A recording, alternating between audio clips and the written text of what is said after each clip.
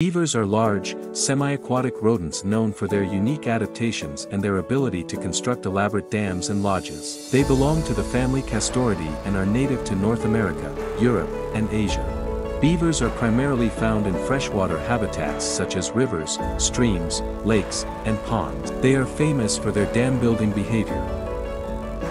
The dams create deep ponds that serve as their homes providing protection from predators and easy access to food.